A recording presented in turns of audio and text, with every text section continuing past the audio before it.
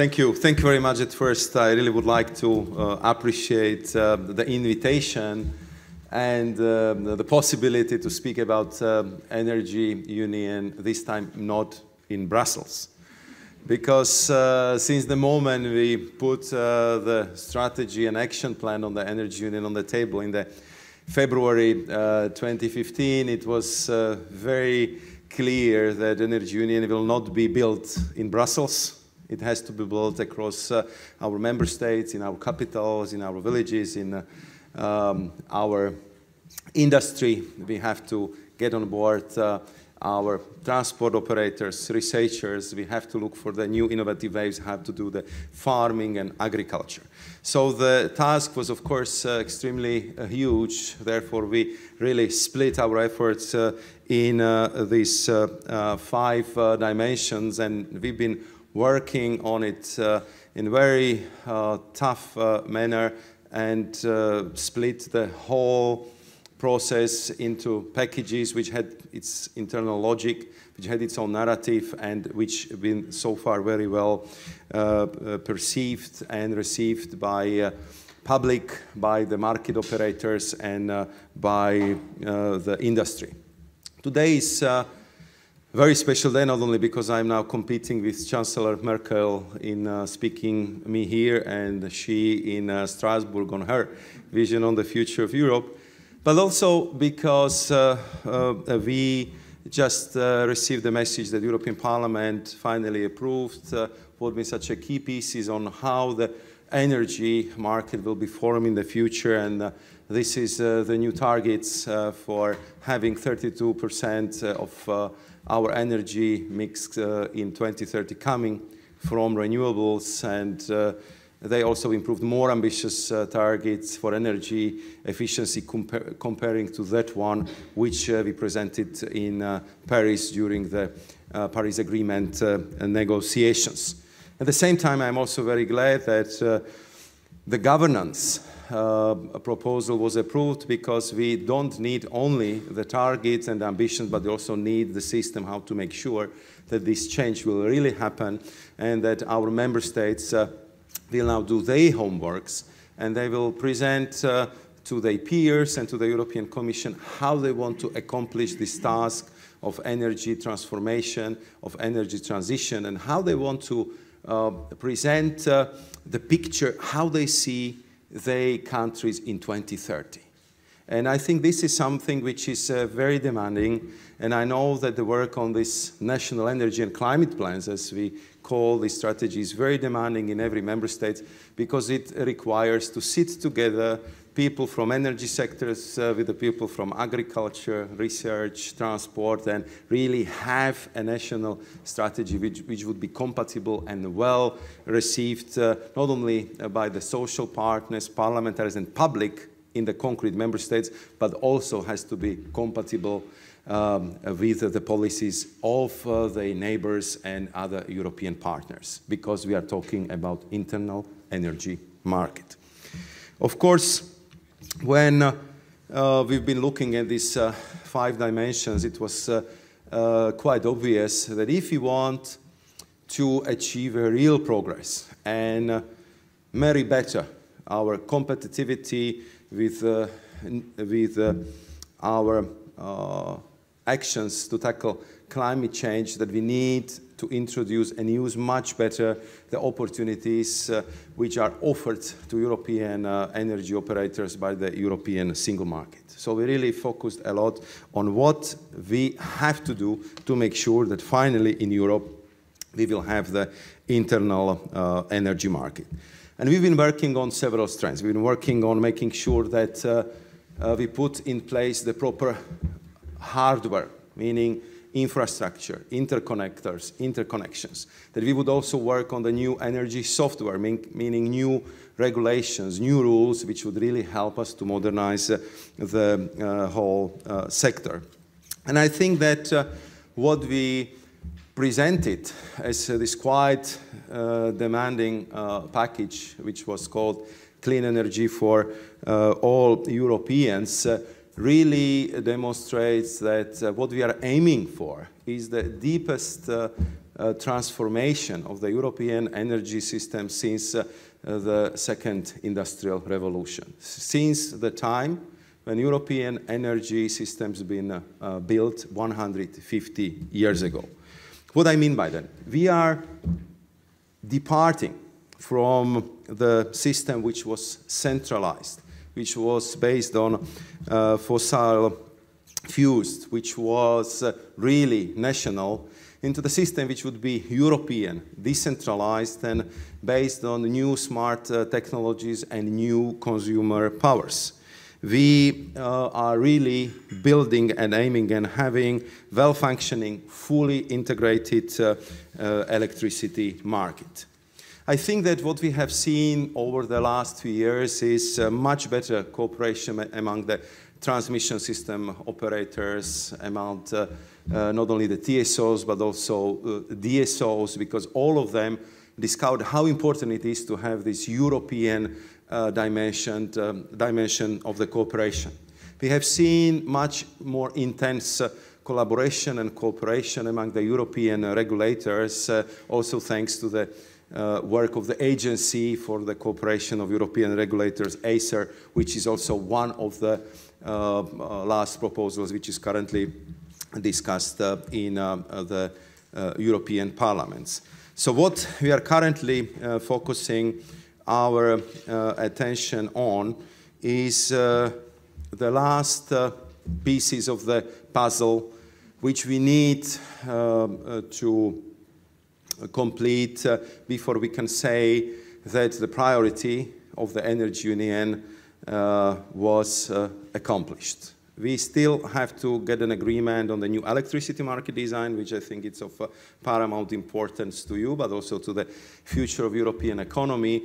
And we also need uh, the breakthrough in achieving clean mobility targets, which we discussed today the, the whole morning with the German Minister Altmaier, with the, with the uh, Minister uh, Schulz and where it's quite obvious that uh, we have to do very important catching up to make sure that Europe will not only produce the best cars in the world, but this time they will be best and cleanest vehicles on this planet. That's our ambition, and this is what we have to uh, accomplish. Why, coming back to electricity, this new electricity market design is uh, so important? I have to say that uh, since I started to work on Energy Union, um, you would not surprise to hear that national reflexes, if it comes to energy and electricity trading, are still very, very strong. Despite the fact that uh, we have these new targets for interconnections, and you know them very well, we want to have 10% by 2020, 15% by 2030, and we invest really uh, the, the millions and millions in uh, these new interconnection capacities. But what is the reality of today? More than 50% of the capacities for these interconnections is blocked by regulators. So we cannot use it for, trade, for trading. We have some interconnections which are just simply blocked completely. They are used only in emergency situation. And this is something what we also want to tackle through the negotiations through the discussions, uh, through looking for the good uh, regional solutions, but also through uh, this new electricity market design. And I think that uh, the priority of opening of uh, the borders, priority of market coupling, the priority of really using the European scale uh, for uh, better business uh, opportunities also in energy sectors are more and more important because we all expect uh, that uh, the renewables will play uh, even more important role uh, in uh, uh, the future European energy mix. As I said, we expect that if it comes to electricity by 2030, we would have more than 50% of electricity generated by renewables. So here we are faced, of course, with a big challenge. You might have a wind in the north of Germany, you might have a sun uh, in Italy, and still you would have a lot of, uh, you know, uh, problems how to get uh, that electricity where you need it because of very often not well working single market uh, for energy. And therefore, we are trying through our proposal and through our actions to make sure that we would uh, maximize the possibility uh, to trade electricity across uh, the borders. We considered any restriction to trade of electricity uh, across the uh, border as something which should be seen exceptional and something which uh, uh, needs uh, to be justified uh, with good uh, reasons, because otherwise it would be very difficult to make sure that we would have uh, really well integrated electricity, electricity market. I believe that if we use it well, we will create the new possibilities for operators, but also for uh, the consumers, and we would also improve the security of uh, supply. We would be able to share our reserves better. We would be able to use uh, the interconnectors in more uh, efficient uh, uh, way, and we will be also able to help each other in a crisis situation whenever in Europe they might they might occur.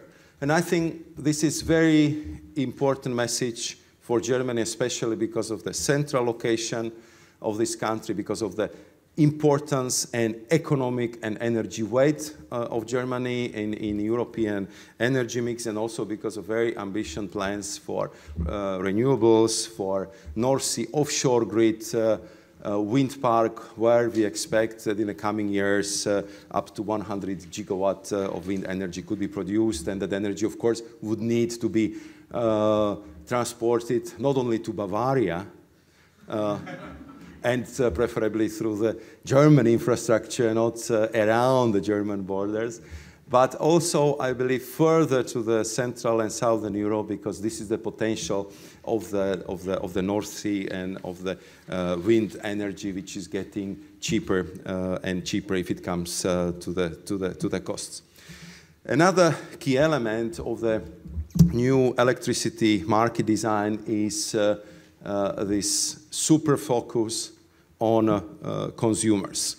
These new rules which we put on the table will allow anyone to generate, consume, store, and even uh, store the self-generated uh, uh, electricity and to be active player, active uh, uh, actor on uh, the energy market, but also participating actively in this um, energy transition. So I think that even that new name which we gave to this type of active consumers, and we call them prosumers, is not even describing in a full extent uh, the scope of uh, this consumer empowerment uh, of uh, the package which we presented uh, because uh, they're getting rights like never before and they will be able to operate in the system which is much more transparent than the system which we have right now and therefore I believe that also lesson learned from Germany where we see very active uh, self-generation uh, uh, will be reaped across the Europe and many member states will follow the example of Germany in, in this respect. So the new electricity market design will bring new um, uh, players into the game, into the market. I think about uh, market aggregators, which will now be able to trade uh, aggregated uh, loads uh, from consumers in different markets and they will be able to establish much better link between retail and wholesale markets. I expect that uh, energy communities uh, and cooperatives will play more and more important role across uh, the euro because this new legal uh, framework is bringing uh, for them stronger legal basis and uh, it also motivates uh, the consumers to invest into the renewable means of electricity production. Why this is important? I was, I think two weeks ago in um, Ireland and uh, uh, a couple of days before that in uh, Netherlands. And you see that in many parts of Europe, the people uh, are um, not always uh, very eager when the new energy infrastructure is uh, built uh, in their backyard. There is even a special word that uh, there is very strong NIMBYism in Europe, that meaning the feeling that not in my neighborhood is very strong. And I think that in the future it might really represent um, an obstacle to generate uh, more renewable energy in Europe. So there are very clever people who come with the idea how to change this NIMBY phenomenon into PIMBY phenomenon. What it means from not in my neighborhood into please in my neighborhood. And you can achieve it only if you involve the consumers, if you create uh, the, uh, the interest in uh, these uh, uh, generation capabilities and if you transform uh, the, the peoples into active consumers, prosumers, shareholders. Of course, the, it goes without saying that the electricity system of the future will have to be much more sustainable, but it will also be more complex than in the past. And transmission system and distribute, distribution system operators will have a key role as a neutral facilitator and enablers in uh, a system with an increased number of uh, decentralized uh, market uh, uh, participants. While the negotiations, on some parts of this package are not easy, I already told you about this uh, um, just today approved higher and more ambitious goals for renewables and for energy efficiency. And the good news is that uh, this higher ambition will bring us uh, uh, into 2030 with even higher reduction of greenhouse gas emissions than what we committed uh, ourselves to do under the Paris Agreement. As you remember, our commitment was minus 40%. Now with these new higher targets, it will be at least minus 45. But I believe that with the progress, especially in the clean mobility, and uh, uh, taking into account also the falling costs of um, uh, renewables, uh, we can overachieve uh, these goals if we implement all these new rules timely and precisely, and we'll, we'll, start to abide by them as of beginning of the next decade.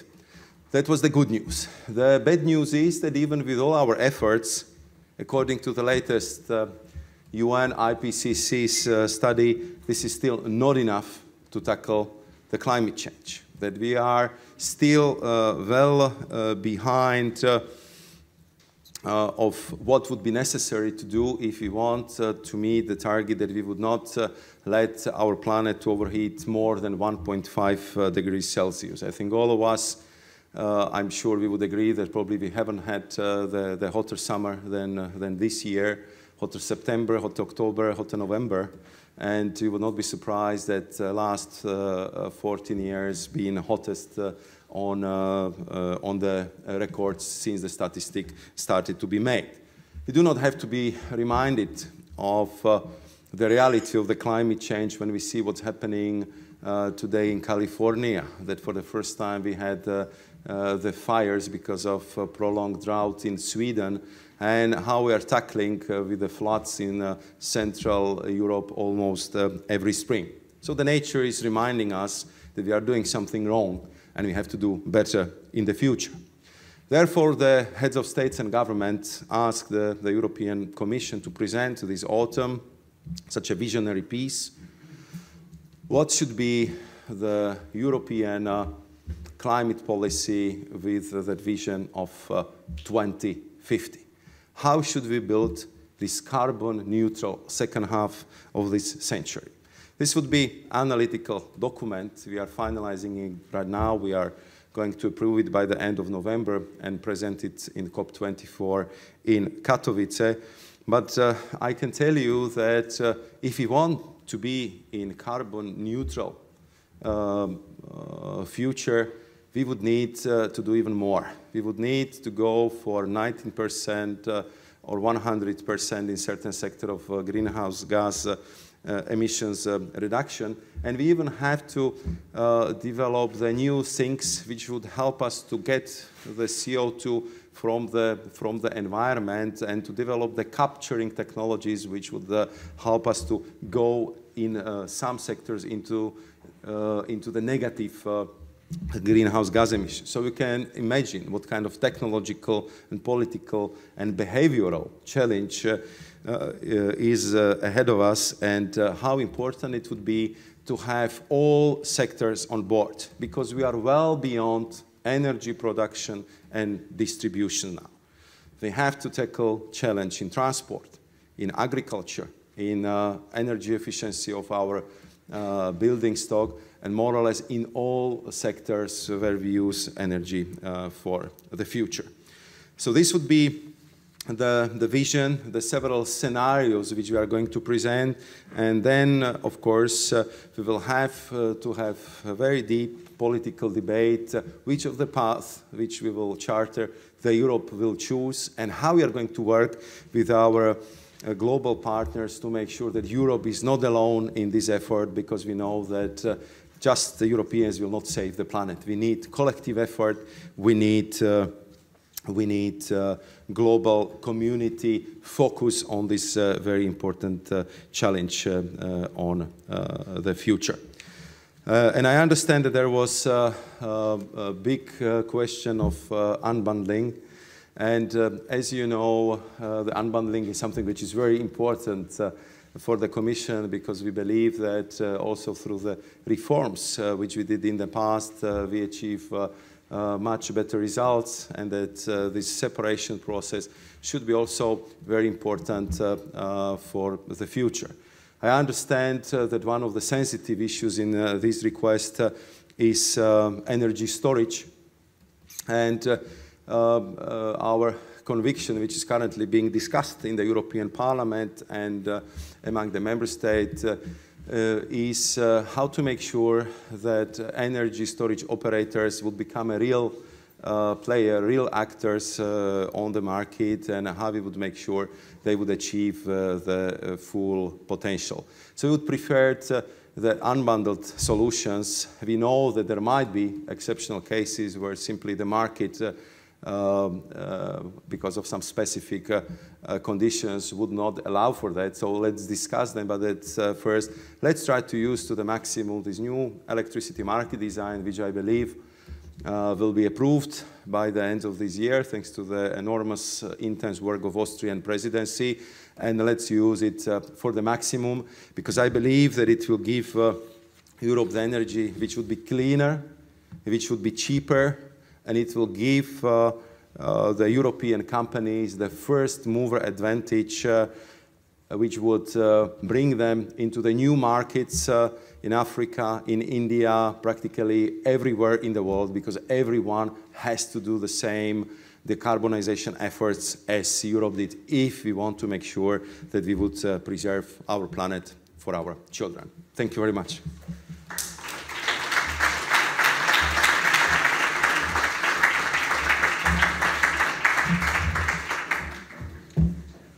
Mr. Vice President, thank you very much for that uh, very comprehensive overview.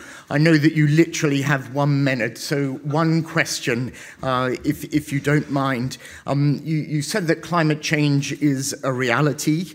Um, and actually, you, you recently wrote a blog, and I think it was called What Can We Still Learn from the Paris Agreement?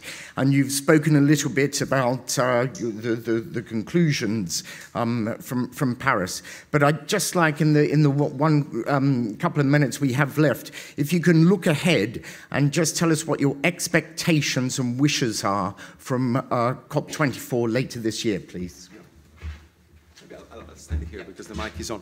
Thank you, thank you very much. And once again, uh, the, the, the, apologies for um, uh, for this early, early departure because you know if uh, uh, Bundeskanzleramt is calling you, have to go. So so we have we have our uh, continuation of discussion uh, discussion there.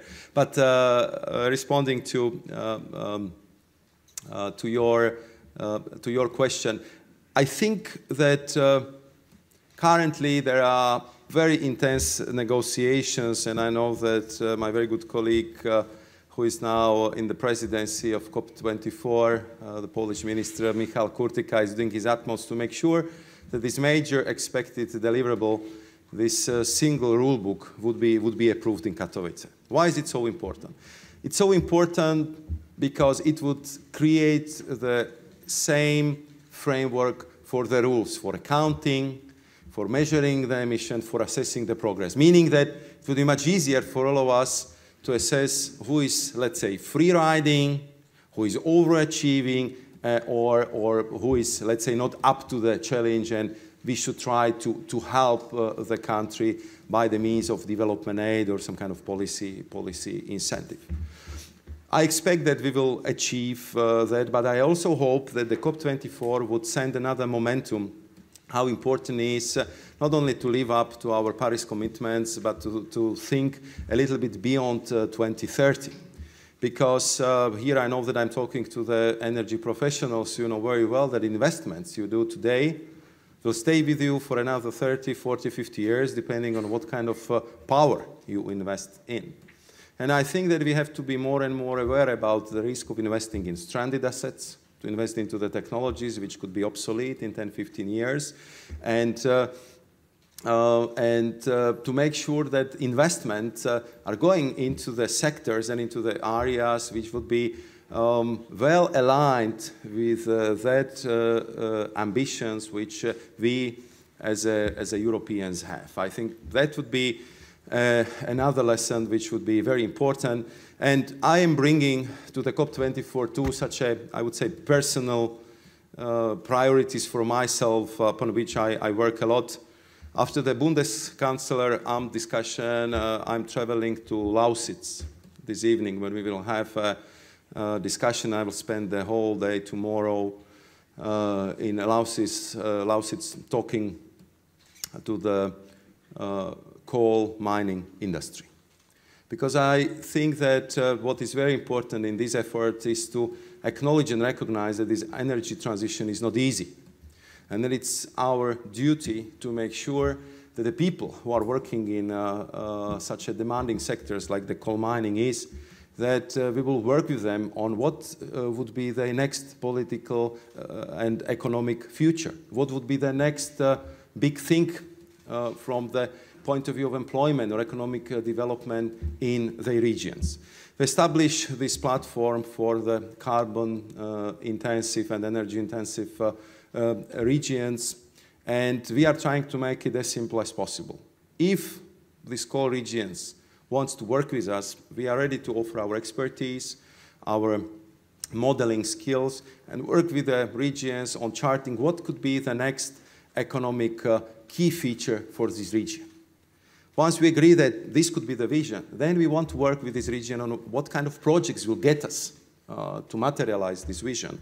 And if you have that set of projects agreed, then we are looking for the ways how we can finance it with the national, European, international financial institutions money. And this is what we do currently for seven of our member states. We'll see if the Germany, Lausitz, and other regions would be interested as well, and we are ready to work with them as well. This approach of uh, uh, European Union was very, I would say, intriguing uh, for another platform upon which I'm working, Global Covenant of Mayors, because the challenge of uh, coal uh, region transition, it's not unique to Europe. We have uh, such regions all over the place, and therefore there is strong interest in COP24 to share our first experiences and, and, and, and to, to show what we can do and how we can, how we can work.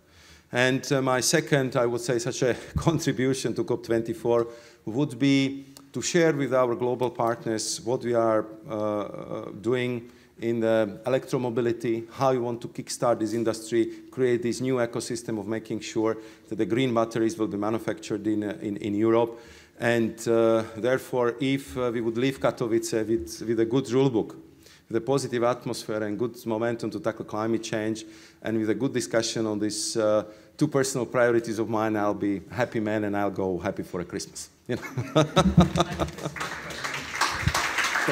and thank you very much. Thanks.